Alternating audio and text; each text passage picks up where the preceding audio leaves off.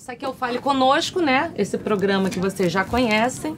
Hoje, eles me colocaram no pior canto do GNT. Vou até tirar esse lixo daqui porque tá até um pouco constrangedor, mas é o canto das caixas, onde fica entulho.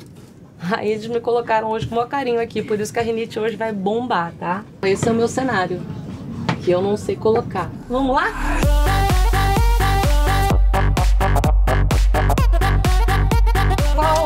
Tema de hoje? Além da conta, com a maravilhosa Ingrid, né? Sou fã completamente. Ela ia estar aqui e não está por quê? Porque tá trabalhando para pagar as contas dela, né? Então vamos falar sobre o seu programa, que aliás eu assisto desde a primeira temporada e eu realmente gosto muito. Gente, tem uma pessoa sambando aqui atrás, mas por favor, continuem aqui comigo. Ele tá, tá fechando negócios em Toronto. Tá nem aí. Maria Isabel Costa. Eu acho muito desnecessário esse programa. Não tem nada de interessante, apenas ela sai comprando, comprando compulsivamente. Não é maravilhoso? Meu amor, olha só, são anos de carreira pra você conseguir convencer alguém de fazer um programa em que te dê um dinheiro pra você sair comprando. Então, quer dizer, uma pessoa que consegue isso tem que ser respeitada. Daiane Vieira de Rezende. Não precisava ter reclamado tanto do calor, do trânsito, das roupas, etc. Será que nos Estados Unidos não tem trânsito também? Ou faz frio em excesso? Perderam a chance de valorizar o pouquinho do nosso país? Triste realidade da massa de valorizar somente o que é de fora. Tantas coisas boas aqui dentro. Esse sol maravilhoso que hoje eu tava vindo pra cá, 45 graus. E temos que pensar o seguinte: temos Trump, Elizabeth Mignella. Gente, nós mulheres somos um pouco consumistas. O bom é que você pode desejar comprar com o site da internet, tem coisas lindas. Mas não é tudo que vai comprar. Pelo menos você verifique e compara preço numa boa sem ter o que comprar nada. Ainda bem que um dia deixei o carrinho para o dia seguinte, pois não perguntei para minha filha o que ela estava precisando para completar os presentes de casamento. A, a sorte foi está, senão teria comprado até um fogão cookie, coupe. E ela já teria Desculpa, me perdi. E ela já tinha comprado. E eu, empolgada, não vi o quanto custava o frete.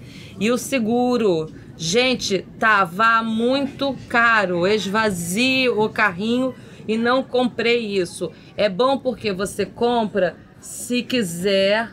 Dá para pensar primeiro e necessário. Tá realmente precisando comprar ou não comprar, depende de você mesma, sua própria escolha. Beijos.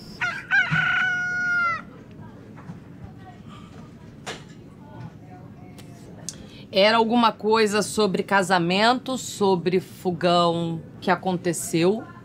Aliás, não tem pontuação nenhuma. Eu acho que você tem que ser indicada até para algum prêmio de literatura incrível. Eu tô com medo de desaprender a falar português. Porque tem umas horas que eu acho que, assim, sou eu que tô lendo errado.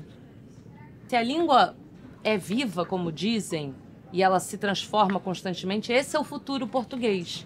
E eu vou ser uma das primeiras a aprender a falar esse novo idioma. Agora desafio além da conta na web, porque é um programa que não coube só na televisão. Kélia Hortência.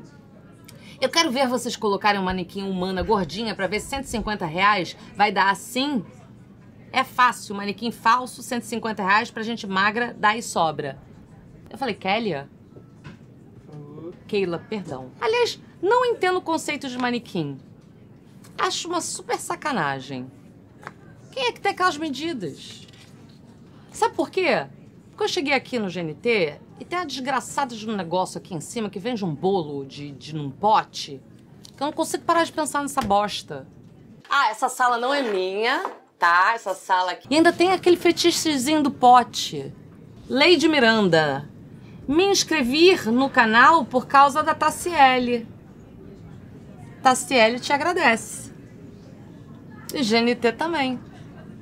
Consequentemente eu, porque eu espero que por algum acaso você acabe vendo esse programa. Vai que. And now the feedback of Fale Conosco com Rita Lobo.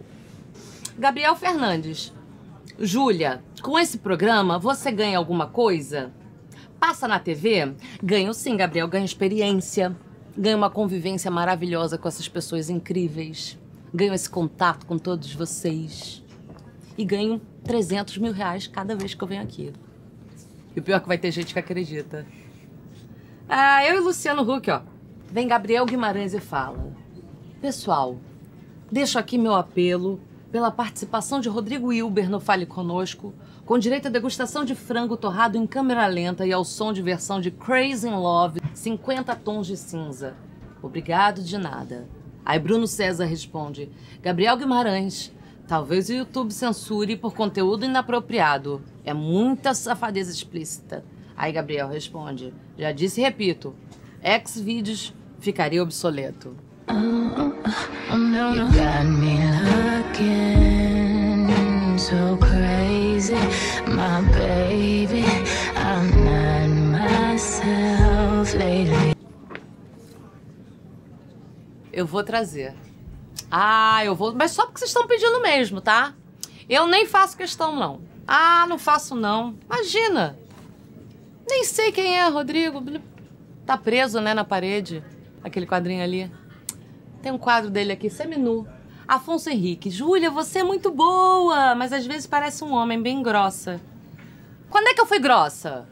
Sou sempre, porra, um poço de gentileza. Eu, hein? Tomando cu. Ítalo Souza. E mulher não pode ser grossa, não? Afonso me irritou. Beijo, Afonso. Cuidado, senão você pode virar o Fortunato 2. Mila França. Milá França. Júlia, meu amor, o programa é ótimo, mas essas coxas estão maravilhosas. Fica aqui meu depoimento e agradecimento a Deus por ter feito essa plenitude. Mila, obrigada. Na verdade, a gente gastou para base de 500 mil reais num filtro na câmera para poder, assim, dar uma diferença. Eduardo Mota, fala sério, o Instagram do Giga não tem nenhuma fotinha de sunga. Marmelada isso. Passa logo o WhatsApp dele, Júlia. Então, o WhatsApp dele é 21. Mas ele agora tá salvando golfinho, gente, no México. Vai vir alguma coisa de sunga. Continua lá. Ai, não. É de novo? Safadinho. Jorge Fortunato. Oi, Júlia, não te abandonei, não. Tô aqui, só que andei enrolado. Ah, você continua me zoando por causa do porvá. Eu só troquei as letras digitando, mas todo mundo prova comida quando cozinha. Não consigo entender. Eu presto atenção mesmo, eu estou atento, coisas da minha profissão. Em tempo, sou amigo, hein?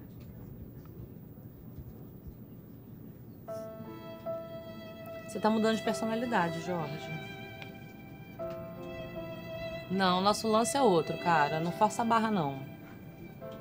Eu gosto quando você vem e fala o que você pensa. Quando você falou, ah, essa mulher é sem graça, esses programazinhos de humor ruim. Aí sim, não me explica que você tá precisando passar um tempo longe, que faz parte da sua profissão. Que aí perde a magia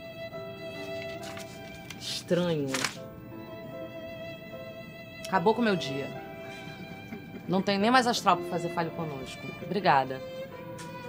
Obrigada mesmo. Quero falar um negócio para vocês. Não vou, não vou terminar esse dia para baixo, não. Sabe por quê? Aqui é o último episódio da primeira temporada.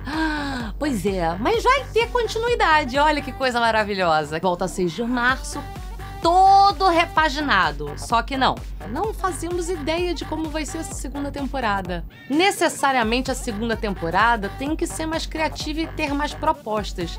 E no caso não temos. Vamos pensar junto o que a gente faz para essa segunda temporada? Então, fala aí. Não, não, sem ideia de suruba. Não vai rolar suruba, isso daí é pro outro canal pago aí. A gente pega toda essa energia que vai ficar contida no carnaval e depois a gente se encontra, tá? Beijos. Fortunato.